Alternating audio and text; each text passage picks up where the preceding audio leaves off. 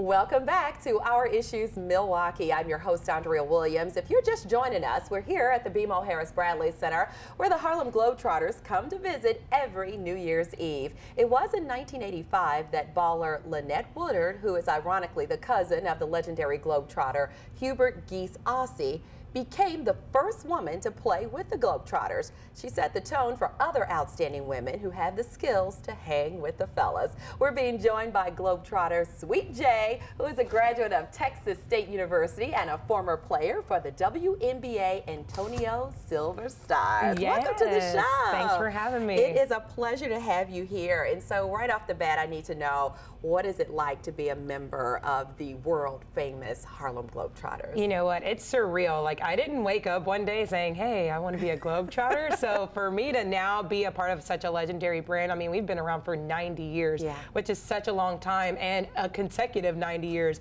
um, the longest sports organization around. And so um, just to be a part of it, especially being a female, being able to inspire other females, um, it's just unreal. Absolutely, and it's just like when they first uh, announced that a woman would be on the Globetrotters, it's like Uh-huh. that chill bump effect because you're like, yes, you know she's got Exactly. Skills, right? so uh, you and your other female teammates, Mm-hmm. TNT Maddox and Tea Time Bronner, you inspire women and girls all over the world. That's That's right. why they call you guys Globetrotters. Exactly. And you remind us all, not just the little girls, but Uh-huh. really all of us, that you can do anything and you just just keep at it and anything's possible. That's very right. Um, you know, I just always use, you know, there's so many male dominated industries, and I use the analogy of, you know, uh, Hillary Clinton. You know, she may be the very first female president, and traditionally, obviously, it's been all men. So not only just basketball, but even in the army, even in politics, um, business, you know, females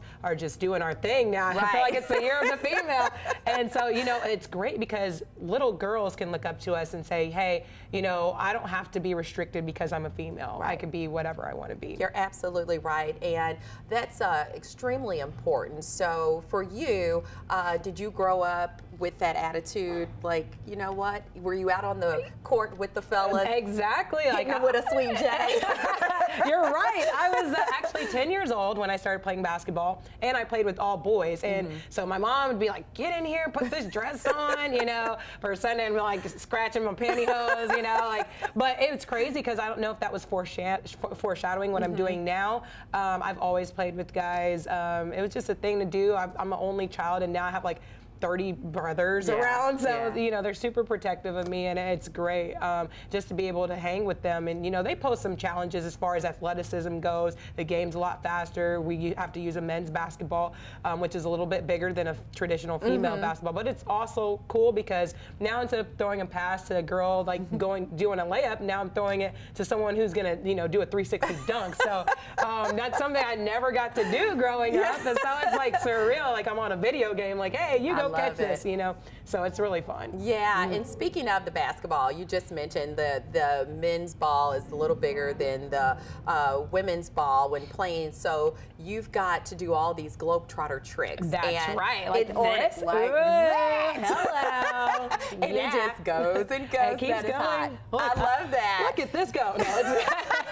So when it comes to that, what was your uh, first trick and Mm-hmm. your toughest trick to learn? Because you got to know the tricks to be a Exactly. Globetrotter. So before I was even a globe trotter, I Uh-huh. could not spin the ball on my finger. And so when I did my tryout, I was like, uh, you know, like I don't know what they're gonna ask me to do, but they literally were just like, play basketball with guys. And I was like, well, I could do that. I've Uh-huh. Been doing that since I was 10 years old.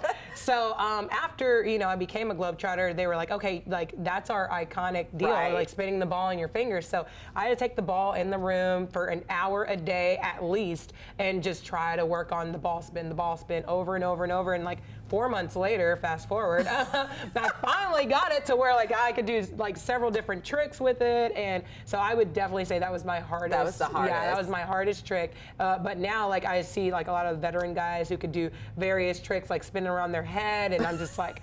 Okay, I just mastered the ball spin. Now I gotta do something else. So Oh, yeah, that's awesome. just up to your creativity. Yeah, and it really goes back to setting your mind to something and Exactly getting it done, right, Yeah. even if it is a basketball spinning Spin on, on your finger. I used to see Yes. little kids doing it. I'm like, oh my gosh, like why I can't I get that? Yeah, why I not did this? But Now, I don't know about Uh-huh. you because honestly, I've been watching the Globetrotters since I was a little girl, and you know, it was Meadowlark Lemon. That's right. and uh, Curly Yeah. Neal. All those guys were playing, and I'm giving away my age, obviously.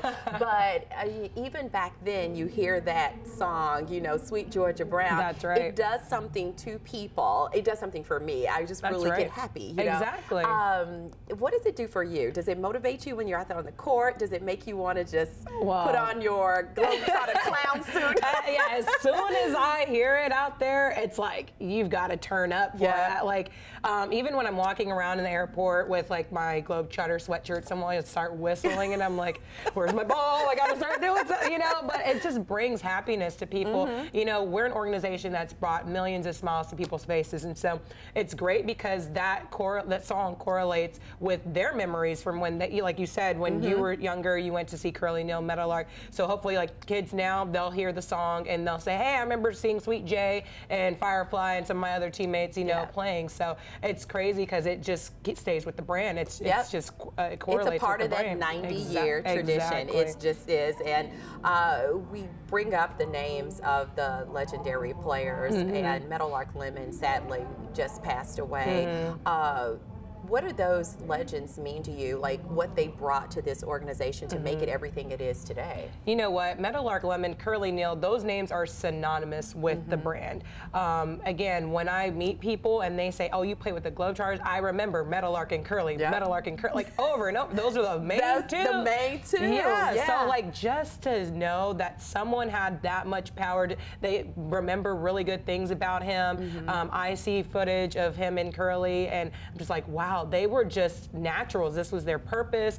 You know, they brought smiles to people's faces. And so, just the fact that I wanted to meet him, you know, Mm-hmm. and I'm not going to be able to get a chance to, but I know just looking at his footage and seeing what people, you know, remember of him, it's just great, you know, and he was a great guy. So, And being able to carry on the tradition that he helped put into place has to be pretty special. So Definitely. that alone is major stuff. It's major. That's Yeah. again like just putting on this suit, being a Harlem Globetrotter, you know, again, being synonymous with those names in the same sentence, even with Meadowlark and Curly, it means a lot. Yeah. So uh, earlier, I was talking to Firefly, Mm-hmm. asked him how he got his nickname. So I'm thinking, I think I was right when I said Sweet J. I'm thinking Sweet Jumper. There you Yeah. go. and my government name is Joyce, so I feel like I'm a sweet person, so it can be twofold Okay. there.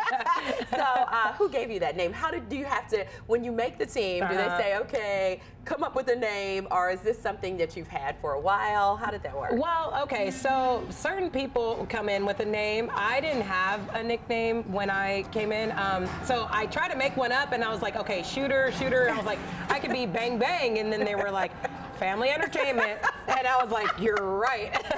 so then um, actually the CEO, Kurt Schneider, he came and he was like, you know, Sweet J works. And I was like, I actually That's love hot. that name. Yeah, yeah, yeah, yeah. So um, the Globetrotters gave me Sweet J. And the rest, as they say, And is history. There you go. I guess bang bang wasn't working out.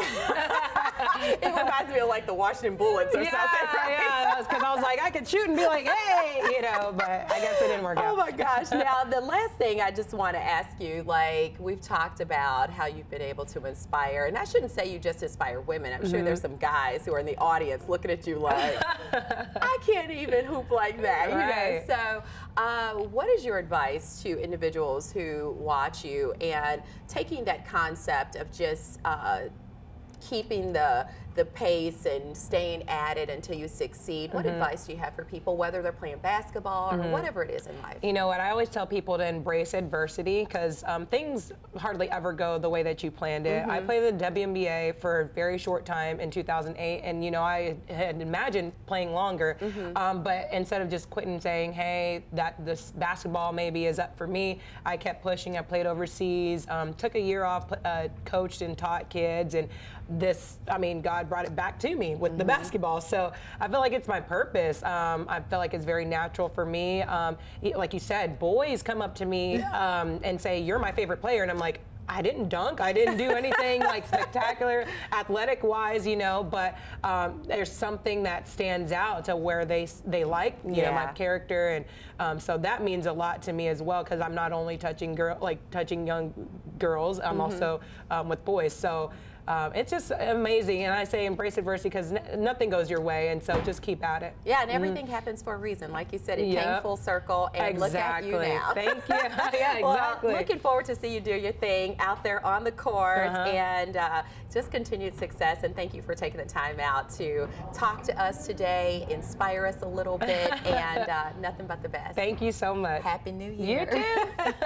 As we wrap up today's show, I did want to pay tribute to the man known as the Clown Prince of the Harlem Globetrotters, Meadowlark Lemon. He played 24 seasons with the Globetrotters and was part of an extremely popular period in Globetrotter history, appearing on many popular TV shows, commercials, and was even immortalized in animation. We lost the Basketball Hall of Famer on December 27th of 2015. He'll forever be remembered for his patented hook shot, his no-look wraparound pass, and of course that smile that brought joy to the millions of people around the world. In the words of the legendary player and the title of his book, Trust your next shot. That is going to do it for today's show. I'm your host, Andrea Williams. As always, I thank you for watching, and I hope you join us again next week as we take another look at our issues Milwaukee. Have a great day.